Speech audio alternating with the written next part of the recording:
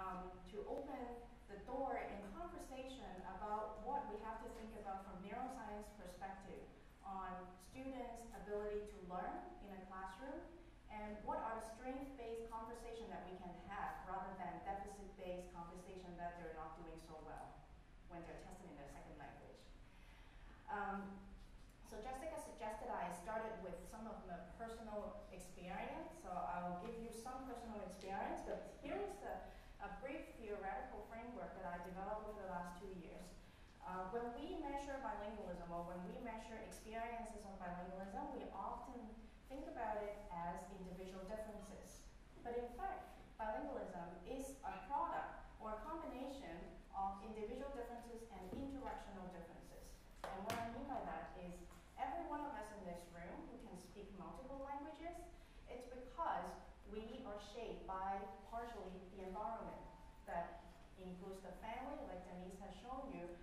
Early language experience is extremely important in shaping our brain development. Going to school, in Quebec, most children go to French schools, and some of them go to English schools, some of them go to immersion education, and also community. Uh, I'll give you an example in the next slide where I came from. I moved uh, to Montreal here five months ago from the United States. And even though we're only five hours driving apart, it's two worlds. Hmm. But I'm Canadian. so that sets it apart. Okay. so two years ago, how did I come up with this idea about rethinking bilingualism in education? Five year, uh, two years ago, um, I had my sabbatical, and during my sabbatical, I decided to um, fly to different places on this map. So my first stop uh, was to Ecuador in uh, South America. I was invited to give a talk in Ecuador, and it was the department, um, the Ministry of Human Talent who invited me to go. So I gave a talk, and then I realized that most people who invite me to give a talk is because they want to make a point to policymakers about the science of bilingualism, right? They want to make a point, right? So that's why they need the science. And then I went there, I gave a talk to indigenous groups, people in university, and then what I realized is something really interesting. The politicians, the families, the children, and the teachers are all buying into bilingualism. They all support bilingual education, I went to a trilingual school, uh, Quechua, Spanish, English, um, in Ecuador. And so I asked them, I'm just curious, why do you make such an effort to invite me over here if you, if everybody is already believing in what you're doing, they're already doing it. And they said, you never know, policy change, mm-hmm. politicians change, and the only thing that we can keep their mind is that we document everything. So I was glad I was there, and then I uh, realized that bilingualism is much broader than just dominant language, minority language. There's historical context that changes how we see languages. Languages have status, and the status are coming from people. Okay? And then my next stop was in Saudi Arabia. So I went there. Uh, let's not talk about the gender thing. Uh, let's talk about something else.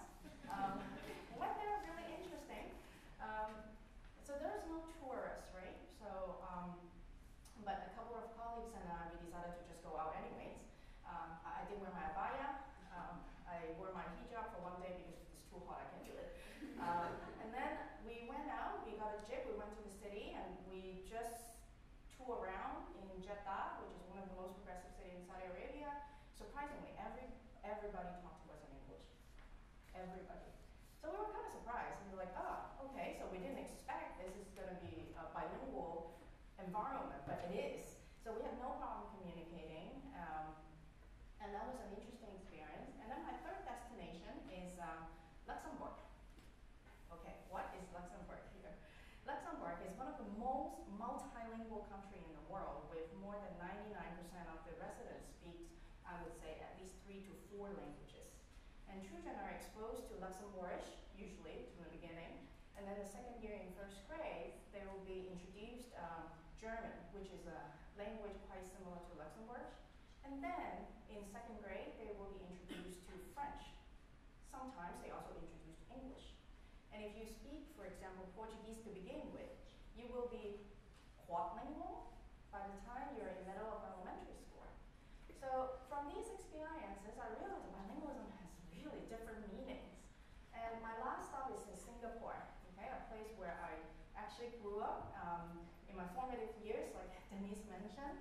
And my mother is a treasure box of um, language myth of development.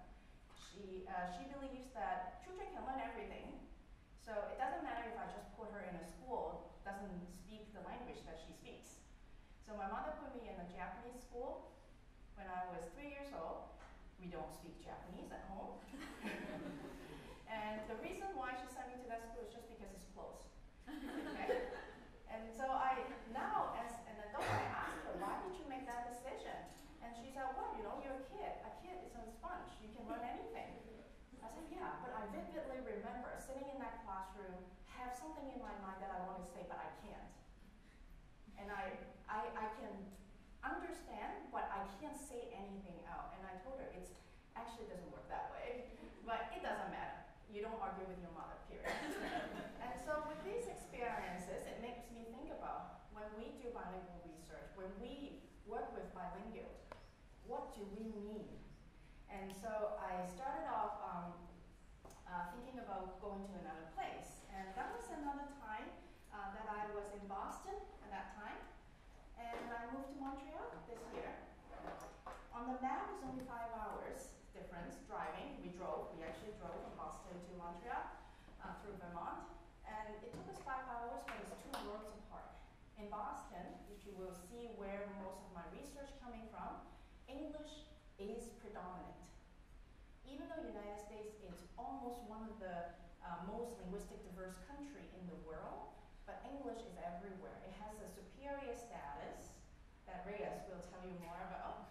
Um, English is superior in the way that if you speak another language, um, you always need to be fluent in English to establish a social point. So this, of course, has a lot of implications on education. And so that's where I spent my last seven years doing a line of research. And uh, when we think about as researcher, who are the bilinguals and who are the monolinguals, uh, my doctoral student and I scoured the literature uh, from 20, no, 2005 to 2015, 10 years of literature.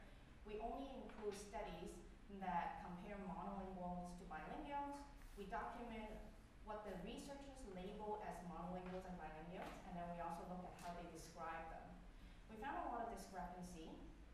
One of the major findings is that in some study, like study one, they describe monolinguals and bilinguals on a continuum uh, that are fairly close to each other. In other cases, they look at monolinguals and bilinguals as further apart. But less than 30% of these studies actually describe the community language or the sociolinguistic background of where the study coming from. And so we lack a lens to think about bilingualism as an interactional experience. And so that's where I come about as my personal background and multilingualism. Um, and personally, I speak um, Cantonese at home, but according to my parents, um, my tones, when Denny showed you those tones, I could not differentiate them, uh, but they're not Cantonese tones, I think. Uh, so my Cantonese was my mother language, my native language, but now become my uh, language, the minority language. English is my dominant language, and I speak some Mandarin, uh, good enough to order food, and I think it's a survival skill sometimes. um, my French is conversational, I could get by, but there's nowhere I can use my French to give an academic talk like this. So it takes time to develop different um, competency level and train yourself to be fluent in all languages. Um, I'll take an example that my child, 10-year-old, tells me that he uh, speaks some Cantonese and of course English. He was learning Spanish in the U.S. and he's coming here, he has to learn French. And he told me, oh, my Spanish is getting in the way sometimes. and, and then he said, well, but sometimes it helps. And so I said, yes, there's a facilitatory and an inhibitory, and you have to differentiate these languages. And he said, I just have to live with my languages. And so I'm so glad that I have a child who is actually uh, supporting bilingualism and being very embracing about it. Um, so we also realize that when you learn a new language as an adult, as a middle-aged adult, you will have to put down your self-esteem. Like how I started talking in French in the beginning, I know it's not perfect, but if you put down your self-esteem, you will eventually get somewhere. that's my um, that's my understanding. So uh, today I will tell you a little bit about the brain differences relevant to bilingualism, and I will play down a little bit on the first part because Denise has already given you a very good, uh, solid intro. Uh, and then we'll think about bilingualism and learning in the U United States context because that's where I come from uh, in the last seven years intellectually.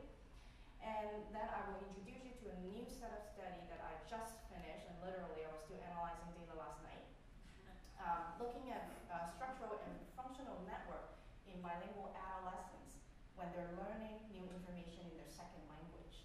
Okay? And finally, I want to wrap up this talk by telling you where do we go next and why am I, as a cognitive uh, psychologist and cognitive neuroscientist, being situated in the Faculty of Education. All right, uh, a little bit of theory to begin with. Um, when we think about brain plasticity, we always think about our brain has come in a form, in a shape that is fairly general across everybody. And there are capacity that you and I share the same as human beings, such as our ability to see and our ability to uh, hear, and especially our ability to pay attention to speech sounds. Human language has a special value to human beings. And these capacities called experience expecting mechanisms. And our readiness to acquire language or languages um, give us the capacity to pay attention to the speech sound in the environment. And depending on what's in our environment, it will actually um, help us to develop and uh, acquire the necessary skills to become the bilingual of who we are. I assume everybody in this room speaks some kind of another language to different extents. And so, as Denise mentioned, when we're babies, we're actually open to all the speech sounds in the world. But because we're interacting with the environment in the very critical period in the beginning of life, we started to pay attention to those speech sounds that matter to us most. Okay? And that's how it forms our native language. And so the interaction with the language environment forms another mechanism called the experience dependent mechanism. And that's the interaction between the experience expecting mechanism and experience dependent mechanisms give rise to brain plasticity. And bilingualism is a perfect example for us to look at this old theoretical model. Okay?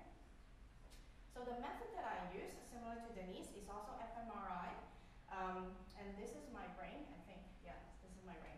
Um, it has something in there. And so what is in our brain? In, in this image, you can see that I have the, the skull, and then inside the skull have gray matter and the white matter. And the black area, um, there are space filled with fluid called cerebral spinal fluid. So those are the three main things in our brain. And the method that we use is to have uh, someone lying in a scanner for about 45 minutes and you can't move, okay? If you take an iPhone picture um, and if you move around, you will get blurry picture. And it's the same phenomenon here, except that we're taking pictures in three dimensions. So if you move more than five millimeters, we have to throw away the data or do something to make it nicer. Okay, so it's a high stake, it's very expensive, I'm not gonna lie to you. And so with the technology, we can uh, have images like this. We can capture a high resolution image that get, tells us a little bit about the general structure. We can look at brain activity, but because when we look at brain activity, we're adding the dimension of time, so now it's a four-dimensional space, and we have to sacrifice something, which is the resolution of the brain pictures. That's why the brain activity picture is a little bit furry and uh, fuzzy. We could also look at brain structure, looking at specifically the white matter by tracking water molecules. So water molecules flow inside these tracks. They're kind of like bacon fat wrapped tube tunnels.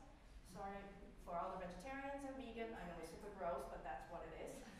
so these bacon fat tubes in our brain um, form information highways that connect far away brain areas, such as the frontal lobe in the front and the occipital cortex in the back. Okay? And so using these methods, we can look at these three, um, uh, these three uh, features of the brain. And in my uh, earlier work, we have uh, been looking at older people. So my uh, previous position uh, before I became a faculty member was a postdoctoral fellow at a hospital. And we work with older people around the age of 70, uh, give or take three years uh, up and down. And we compare their language experience who are monolingual in Toronto or who are bilingual. Okay? And when we look at the brain structure, we compare the white matter and find that those who speak more, uh, two languages and sometimes more over the last 50 years actually show more um, white matter in the color-coded um, voxels that you see in this uh, animation. And so where is that brain structure? That is the brain structure called corpus callosum that connects the two hemispheres on the left and right, right? So even though language experience is, uh, some, some people call it left uh, hemisphere dominant activity, but when you have multiple languages, sometimes it takes more effort, and therefore we found that um, the structure connecting the two hemispheres turns out to be quite relevant. And then we also looked at uh, functional uh, differences and see that um, for the bilingual older adults, their brain regions um, there are, have more connectivity when they're at rest. So when they're not doing anything in particular, we see that the blue area in this uh, image here shown to be more connected than the monolinguals. Okay, so not only they're functionally more connected, they're also structurally connected. So after that experience as a postdoctoral fellow, I found, wow, this is so cool. But we have to do something about this. We have to go back to childhood. And that's actually where I began my research in literacy. And so I uh, intentionally found a job in the School of Education. Okay? And thinking about bilingualism in the brain, we also know that from other parts of, of the research team, that bilingual adolescents who are simultaneous bilingual versus um, sequential bilinguals versus those who are monolingual show different developmental rate in the white matter structure. So it's actually very consistent with what we have in the older adults. And Denise has already shown you her work on international adoptees. So everything we do leaves a footprint in our brain. And let alone language exposure, which is persistent and is passive, and we are engaged in speech, sound from the first day or even before we were born. Because we know, evolutionary speaking, it has a social value and it has meaning for us. now, so that's a brief overview of brain differences relevant to bilingualism. We know bilingualism changes our brain structure. We know it changes our, uh, our functional connectivity. And so how, does, how do I connect it to learning? Now, um, with the Canadian audience here, I have to tell you a little bit more about the where I'm coming from. If I tell you, uh, in, in, the United States, Reyes can, uh, can confirm, if you, people usually tell me, what do you do? I say, well, I study bilingualism. And they will always make that assumption that, oh, you're looking at bilingualism means you're looking at Spanish-speaking children who are coming from low-income families. I said, no. Everyone who speaks two languages can be in my study. Um, but being in education, that's the major question that people all want to know. How do we help these children? And so in the United States, English learners is an education term that uh, children who are deemed as not ready to learn in an English classrooms. So every child going into a public school will fill out a survey, and if, they're, uh, if they say that English is not spoken in their home, they will be assessed. And through the assessment, the school district will determine whether they're ready to learn in English. And there are actually quite a, a lot of them. Uh, roughly about 10%, that was a statistic from 2015, but it has grown um, significantly since then. Um, but 4.8 million is what the government uh, reported. The majority, surprisingly, uh, unlike what the politician says, the majority of them, over 80%, are born in the United States. So they are American citizens who deserve a quality education. And Spanish is the most representative, but depending on where you are, you also have a lot of diversity. And even Spanish has a lot of diversity. And they're mostly concentrating in urban elementary schools in cities, not in the rural area, but we also see growing population of um, um, Spanish-speaking children in a rural area in the United States. Uh, unfortunately, they experience very high dropout rate in high school. Um, some district that I work with, 50% uh, of the children who speak English as a second language never graduate high school. and they're also disproportionately lower in gifted education. So even though uh, if some states recognize gifted education, English learners are not likely to be identified as gifted. There are also majority come from low income background. Um, and when you say, uh, okay, where do you find these statistics? When I first moved to the United States about seven or eight years ago, I, yeah, that's what I want to find out. And then I realized there's no government statistics actually reported this uh, interaction anywhere. So if they don't report it, I find it out myself. And so I got um, some data um, from the Massachusetts Department of Education. Okay, they're open, so I can just download it from the internet and analyze. And uh, roughly, I have about 210,000 observations of students. And I'm going to show you only the three grades in elementary schools, um, but you will get the idea. So in this very big data set that I did not collect, I have no control over it, we have one variable that allowed me to look at the first language of children. So I divided them into groups of uh, those who speak English as a first language, those who don't speak English as a first language, but they never received English learning services, those who were former English, uh, who were, were English learners, but then they get reclassified at some point in their school career, and uh, finally, those who are currently English learners. So as you can see, even the um, state level data, it's very English centric. It's not about bilingualism. It's about whether you speak and using this data, I can put those groups into a graph like this. I divide them into those who are eligible for free or reduced lunch, which is a government uh, statistics to um, provide free lunch for the children who uh, from low income background. And they do it by looking at their uh, tax return every year. And so this is a grade three data. What you see in the gray area indicates that the children are coming from low income, where you see white area means they're not from a low income. So we call your chi-square statistics. What does that mean? There's almost a perfect confound with uh, whether English is your first language or whether you need English service, with uh, whether you need um, free lunch or not. Okay, so there is a very big from. But you said only is only third grade. This third grade data has about 70,000 observations. All right? Um, this is one of the things that when you're a scientist, you make hypothesis, you want it to be true. But this is the case that I actually want myself to be wrong. This is the data from grade 3 to grade 8. They're identical. They're identical and it changes the way I see academic achievement in the United States. when we talk about academic achievement, we say that children who are learning English as a second language are doing poorly on academic subjects. But what we're forgetting is that there are social factors like this one that we haven't taken into account. Now think about a child coming from a low income background, it's not only about them, it's also about the resources their school, the neighborhood school have access or the family have access to. So it has a lot more implication than just saying that, oh, these children who speak English as a second language are not doing so well academically. And then I move on to also look at uh, what, how did they do in uh, state level exams. So every March and April, children in Massachusetts going to public school will have to uh, do an exam. So it's an annual thing. In 2015, they did a test on English language arts, which has questions like this. So you read a passage about uh, the Statue of Liberty, and then you answer some question, and you also have to write something. All right, so that's the model. Uh, this is actually a question coming from the 2015 uh, exam years. And how did they do?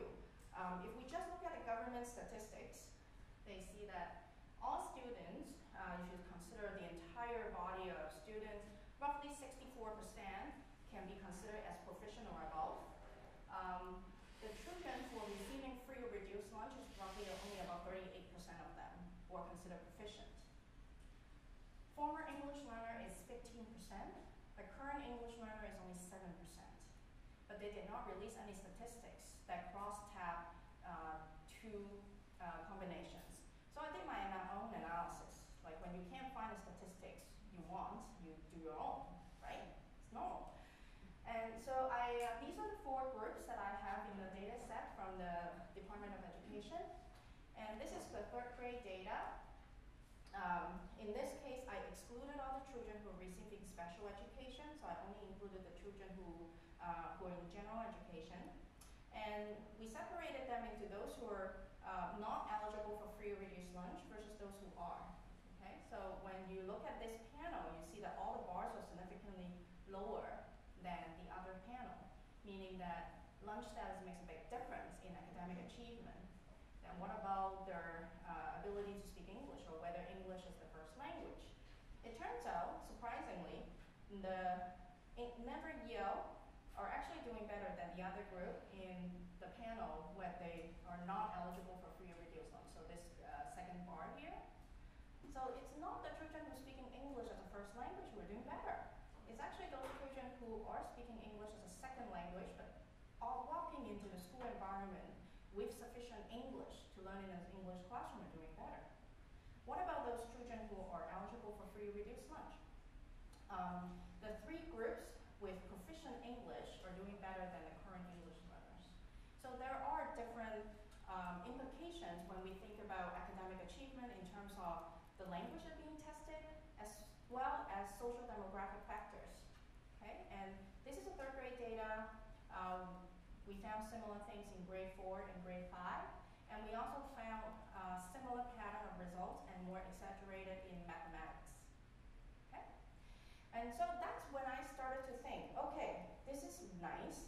So we, we're getting somewhere. We have to change the rhetoric. We have to change the discourse for educators to really think about why are they not doing enough? What is wrong here? So we managed to get some of their attention and think about um, going beyond comparing their outcome, their academic achievement. What else can we do? Because knowing that they're not doing good enough is, not sufficient to change pedagogy. Everyone teaching in a classroom knows that. And so we have to use a different methodology to look into the mechanism of learning. Okay? And you can't do that just looking at state level statistics. So we started to think, step back, what do we know about bilingualism? Bilingualism is complex. It's an experience in which you are mostly trying to extract signal from noise. If you are bilingual, or you're emerging bilingual, what you're experiencing is, okay, this noise, these other languages in my environment has some meaning. I have to pay attention to it. So now you're being monitoring more of what's going on in your environment. And because you haven't got the second language system established, it's more effortful. Okay? And we did a pilot study with preschoolers, four years old, super cute age to do research with. Um, and they all attended government subsidy um, programs in the United States. And in order to be eligible for those programs, you have to be really, really poor. Um, but that center that I work with has really, really good curriculum that some of the parents in the neighborhoods are willing to pay the full price to get their kids into that program. And of course, we make sure that those parents don't take up seats that are actually meant for children coming from low-income families. And uh, this is a slide that I just added right before this talk after Denise's presentation. So I hope it works. If you want a full data set, I'll show you uh, after the talk. So we actually asked these children, we want to test the signal to noise ratio hypothesis. So we say if they are continually monitoring the signal in their environment, what would happen is they may become more uncertain. And for most of these children, actually, when they started preschool, it's when they're exposed to English. They mostly speak Spanish at home. Okay, so I work with a linguist, and we put together some sounds that are common, commonly observed in English and Spanish, such like uh, such as sounds like ba and ga, and then we put it in speaking aliens and ask the children whether the aliens are speaking the same sounds or different sounds. You cannot ask a child to do anything that you give to an adult because they will just walk away. And so we have to think of very uh, um, interactive and creative way to make sure that children are engaged in our task. And then we also give them some sounds that are specific to English, such as th. So sometimes you see preschool teachers tell kids th, th, th, Thursday. So to make them realize that the th sound in English, it actually takes extra effort. Or the v sound, like th. So we have to make sure that uh, these are sound developmentally speaking in the later developmental trajectory. And then we also throw in some Russian sound that I'm not going to demonstrate to you because I myself cannot even listen, differentiate them. But there's a, a sh sound and there are two sh sounds that seem to be different. But no matter how many times my uh, linguist colleagues show me those sounds, I still say I really can't. like uh, basically my critical period would close down there. So when we ask them whether the sounds are different or the same, uh, the children whom we tested in English, meaning that they're dominant in English, and children whom we tested in Spanish, meaning that they're dominant in Spanish but now being educated in English, we hypothesized that the children whom we tested in Spanish would be more uncertain because they have just been exposed to the new language for a couple of months, and so they're still continually monitoring in the environment. And that's exactly what we found. At every single type of trials, they are less certain than the children who are mostly exposed to English, even though those children have some exposure of Spanish at home. And especially the, when, when they're shown the Russian sounds, they're actually a chance. So they're not different from just guessing whether this is the same or different. So that's really cool, but how are these brain differences relevant for learning new information? And so that's where I came to um, intellectual bottleneck. Cognitive neuroscience and education is a fairly new field, right? It's very new, also because cognitive neuroscience is very new. And so in this case, most people are trying to make a connection between neuroscience and education by drawing what we already know from neuroscience to education. But there is a problem. What we do in neuroscience, as Denise has already mentioned, we're always testing very specific construct. And the artificial context of testing doesn't quite lend itself to naturalistic learning in a classroom. And the specific construct also doesn't speak to uh, the ability to learn broader. How do you generalize a broad framework of knowledge acquisition? And to be fair, neuroscience research was done to answer scholarly inquiry. It's not done to address educational problems. So we shouldn't expect that there is a direct relationship that goes from cognitive neuroscience to education. So that means my team and I have to step back and rethink our entire approach. Technically, we can use what's existing in neuroscience and thinking that that will give us the ammunition to address an educational challenge.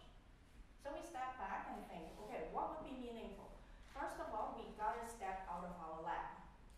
So all my students, myself included, have been doing classroom observations.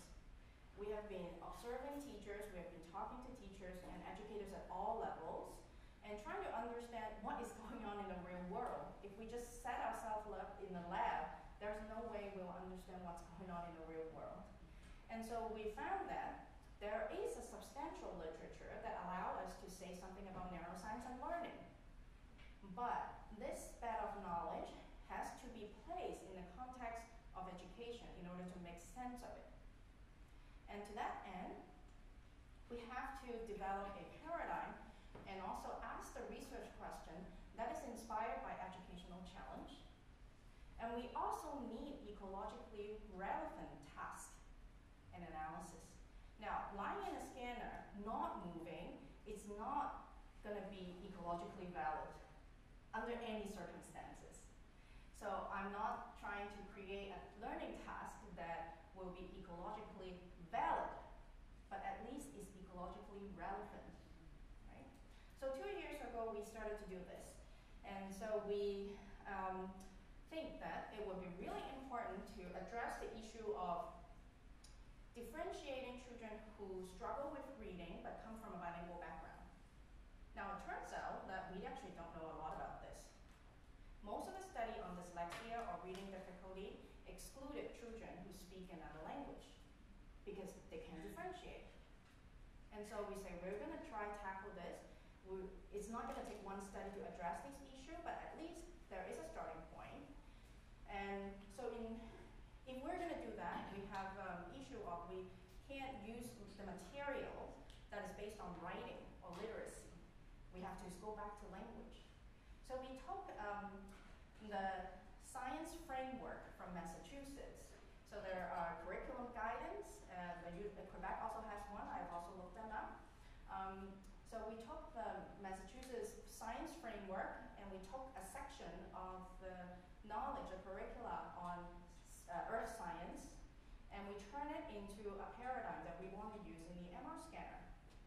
And in this um, scanner, we first took the curriculum and write in script. But of course, the way we write as academics is not the way we, people speak. We, we know that. We know that. We write very boringly. And then what happens is we actually ask the teacher who has a lot of experience teaching science in classroom with very diverse linguistic students. We got the teacher into our, our lab and asked her to translate what we write into a speech that she would actually use in a classroom. And we did it for grade 7, 8, and 9. Okay, so we just want to make sure that it's naturalistic. And so she um, tried to demonstrate it, to practice it. She practiced it in her classroom because it's actually things that she has to teach in a classroom. So she practiced, she um, rehearsed, and then she recorded everything. And so we come down to having some questions that we also work with teachers to set up a rubric to grade the students. So when the students watch the video that we created, we also want them to tell us what they have learned. And so using this protocol, we kind of set it up and come up with a video like this. It's only six and a half minutes for each grade. And so you will see the, uh, this is actually the teacher um, who demonstrate the, the, spe uh, the speech that she wrote. And, and then we have a two-dimensional picture on the side. There is no animation, okay? And after we do that, we have to test adult first. As I mentioned, it's a very expensive experiment. We want to make sure it works. And people don't normally do this in the, in the, in the neuroscience. So we asked people, uh, adults like yourself, whether you know anything about the earth science. We asked very specific questions about what we were about to show them. And usually people say, I remember learning in high school. That's about it. So those are the people we put in. And the community where I came from, most people were very knowledgeable about everything. So there's no way we can control their IQ or verbal ability. So we put in people, we excluded everyone from the geography program and the earth science program. Why? Because. and, and then we put the, those people in the scanner. This is my low cost um, rotation. Um, but I make sure everybody's head is small enough to put into the board. Um, and we, we have the resting state before they watch a video, and then they watch a video, and then we have another resting state. Resting state just means that you're lying there not doing anything. Okay? And then when they come out, even before they get changed out in the scrub, we ask them, tell me what you have learned from the video. And we recorded everything. Um, and then we ask them 12 to 15 questions that probe very specific answers that are graded by rubric by teachers, by a team of teachers. Okay? And so looking at the adults, it seems like they're uh, very high functioning, 30 adults of them, and they show the network that we expected to. So when they're engaging in watching the video, um, the blue area indicates the network where they are listening. They're trying to listen, so that's the auditory cortex, so it's right around here. And primarily, that network is actually responsible for the knocking noise that you hear in the MR scanner. And the other network is uh, from frontal to parietal to occipital, and that's the executive control network. So we see that, okay, there are things that we can differentiate, and this paradigm works. And just to tease you a little bit, we also looked at um, the age of second language acquisition um, and correlation with the corpus callosum that I showed you earlier in the older adult study, um, controlling for age. So we asked them a couple of questions. We actually asked them, at what age did you start speaking your second most proficient language? Because if you speak Spanish at school, which uh, many high school students in the United States do, and then they don't use it, and they're, they, we can't guarantee that they're actually continuing using that language. So we asked them, your second most proficient language, when did you start speaking it? And it turns out that variable correlates with the variation of white matter in the corpus callosum. So it's consistent with our older adult data. We also asked them the more general question, at what age did you start speaking your second language? And that variable um, specifically related to a very specific region, also in the corpus callosum. For the children, we also did the same thing, and we realized that with the 21 children, we also see something similar, but not in the same location on the corpus callosum. Okay? And when we only look at the um, English speakers who speak uh, English as a first language, uh, 24 of them, we realize that there is a relationship between um, the strength of the attention network in red and the age at which they started learning their second most proficient language. So even though you're being asked to learn new information in your strong dominant language, the later you learn another new language, the more attention you have to impose on learning in your first language. Okay? So that's another um, result um, consistent with Denise finding is that learning a second language sometimes also changes the way you process your first language. So uh, right before I started my job at McGill, we um, finally finished collecting the data. Now working with this age group is hard. It's hard because most of them have braces. and when they have braces, that means they have matter in their body. We can't put them in a scanner. So it was a painful process to recruit them. It took us a year to recruit these data. We try to get our best. So even though they have braces, we still test them by giving them a behavioral uh, assessment and also looking at their eyes, looking at eye movements. Okay? And we have a multi-dimensional um, goal. And so the goals, just to reiterate the project, is to understand learning in emerging bilingual. So many of them are speaking Spanish at home and still learning English in the developing language. And we have a Spanish-speaking uh, bilingual uh, research assistant to collect these data. And these are prevalent samples in the education system, and we want to go beyond the relative group comparisons. There is no good brains or bad brains. All we want to know is what are the brain networks that support learning in these children, and how do we do our part as a scientist to understand this mechanism to help them do better. And we also want to identify neurosignature unique to L2 learners and children with reading difficulties so that we can design uh, battery of assessment uh, to differentiate children who struggle with reading difficulty versus those who just need more time to learn the second language. Okay, that's a separate line of research that I'm not going to say here. So we have a, a, because we tested out the paradigm and it works. Um, one thing that I have to share is that SES is something that we cannot control for. So the proportion of children who are eligible for free lunch is much more in the emergent bilinguals compared to the monolinguals. What we try to control for is the social status of the parents. Many of these parents were actually lawyers, professors, or um, very educated individuals before they moved to the United States. So even though they're eligible for free reduced lunch, we try to make sure that they, um, their home education is comparable, so that you will see in a minute. So these children are also not only bilingual in English and Spanish, but they're also biliterate. So they're able to read in Spanish to a very high proficient. Um, when we look at their comprehension, uh, red bar is Spanish uh, passage comprehension. So the children are very comparable in English and Spanish uh, reading capacity. Um, but their English reading capacity is lower than that of the monolinguals, and that's a typical observation that you see. In picture vocabulary, we have the same observations. And when we look at, at uh, letter word identification, these children are actually better in Spanish than in English. Okay? And there's no difference between groups, between the emergent bilinguals and the monolinguals. And so I'm going to show the two video at the same time. Yes, the children, when they listen to complex information and recall it, they uh, recall fewer accurate information. But this is the brain network that is shown by the emerging bilinguals. Uh, very similar to Denise data uh, shown you about an hour ago, they use a lot more the census area of the brain to help them with the language learning.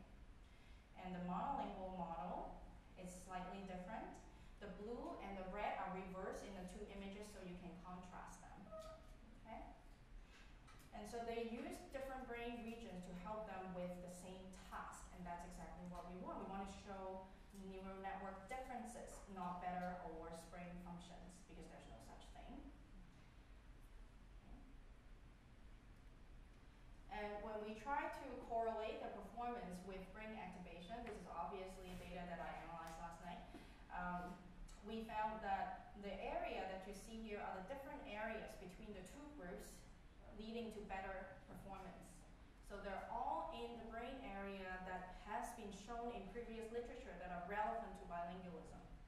So when you're in a learning environment, learning in a second language, it takes more effort and it takes more resources than just the learn language area in the brain to help you with learning. So in summary, bilingualism offers a window to understand experience expectant and experience dependent mechanisms. There is meaningful variation in brain structure associated with bilingual experience um, in, I would say, across different uh, developmental age groups. And learning new information in a second language, such as those in the emerging bilinguals, uses different brain networks to achieve higher performance than learning in the first and dominant language. So where do we go next? How do I bring this back? Now this is the part that I can fit everything into a presentation. So this is the part I was telling Jessica that I'm going to present my science part of work. And then I have an applied part of work that I won't be able to fit in, but hopefully next time. Um, so I have tons of data, as you can tell from this data set, that I'm hoping uh, everyone in the room, if you're interested, give me some ideas. Uh, for the children who uh, come out from the scanner, we transcribe all their speech in CLAN already. They're all transcribed, so that's the most painful process, but it's all transcribed. And what we want to is to look at the linguistic complexity in speech production and see if there is any significant relationship with the neural network when they're at rest. Okay, we also have the resting state brain data. We also have the eye tracking data during naturalistic reading, and so far one of my doctoral students uh, in, in, the United States have already looked at their eye movement when they're engaged in a passage that has a high level syntactic complex structure. So I think Reyes is going to speak some that I'm going to frantically write before my data analysis. Um, and my student is now currently in Florida collecting additional data on people who are speaking English as um, derivatives. So people who speak uh, African American English. So if you speak a dialect, but you are reading in an academic way, how does that changes the way that you pay attention to the syntactic structures? And of course, these are all can be related to brain data. Um, the SET student in Florida, enjoying the warm or heat now, um, is also collecting EEG data um, on adult and will also ask these emerging bilinguals to come back to look at their syntactic awareness. And the big question is, how does these behavior correlate with brain structure and resting state function? And all of these information will be translated and also compact and writing reports for people who are actually in education making decisions. So where do we go next? Uh, I'm hoping in my research program that we can look at individual differences and interactional experiences uh, related to brain structure, functions, and behavioral, particularly learning outcomes, to think about the linguistically sensitive pedagogical support. So that's something that I will be working with um, uh, practitioners in thinking about how do we teach language and content knowledge at the same time in schools, not just teaching language separately from knowledge acquisition. So that hopefully will be my next career goal. Um, and when those people say there is uh, no connection between neuroscience and education, I think it's just premature to say that because there is no bridge and we just have to build the bridge. And that's how we make those connections. And I can't do any of this without my team. And these are the people who actually do most of the work. And thank for the funding agency helping us out um, in testing out this very um, innovative